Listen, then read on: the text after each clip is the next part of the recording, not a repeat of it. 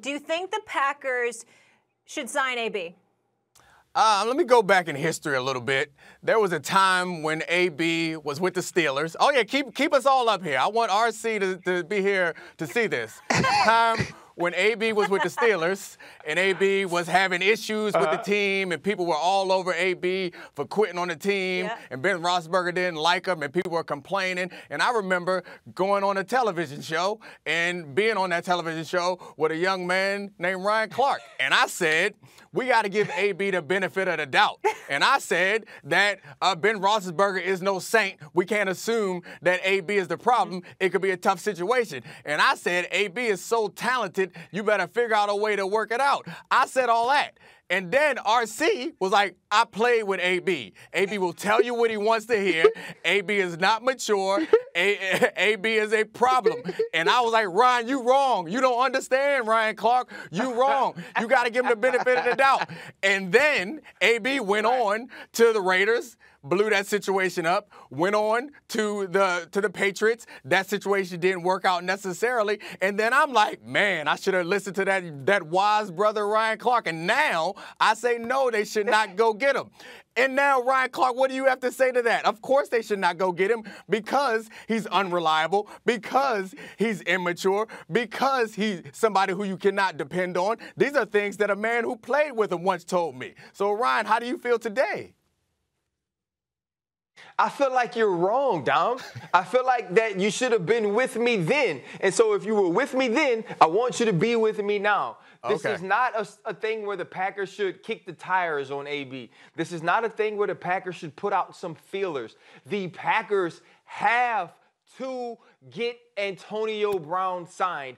They need Antonio Brown on this team. They even need Antonio Brown in this locker room. And not because he's going to make it a better locker room, but because if you don't have him in the locker room, you can't have him on the grass because he's not on your team. And if you want to, listen, one of my favorite shows is Quantum Leap.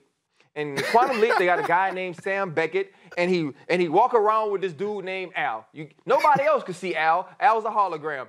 But Sam Beckett used to go go back in the past and put right what once went wrong. That was the tagline.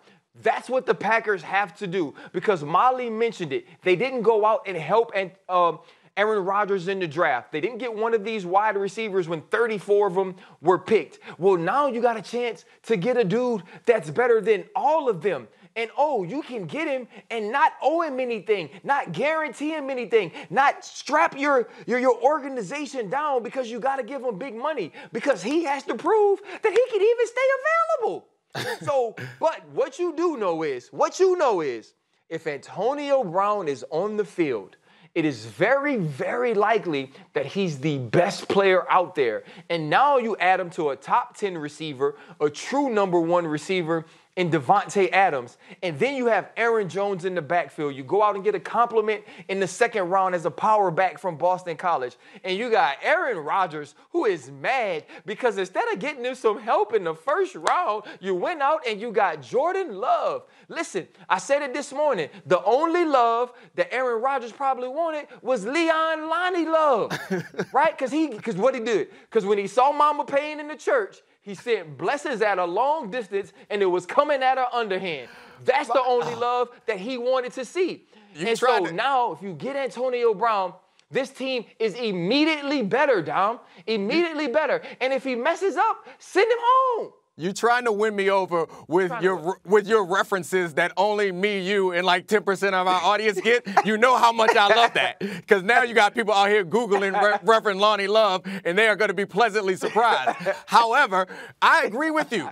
AB is nasty. He's a great player. But the assumption that he's going to come in and make everything better is only assuming that he only shows up on game day. He is in that locker room and he is also in the community making the decisions that AB makes. And you're making all these leaps based on the assumption that AB is in a situation where he realizes that he does not have much leverage and that is going to that's going to force him to behave rationally in this situation. I obviously am not a doctor doctor. So I'm not going to extend any sort of diagnosis or analysis. All I'm going to do is base it on the track record that it's that I've seen.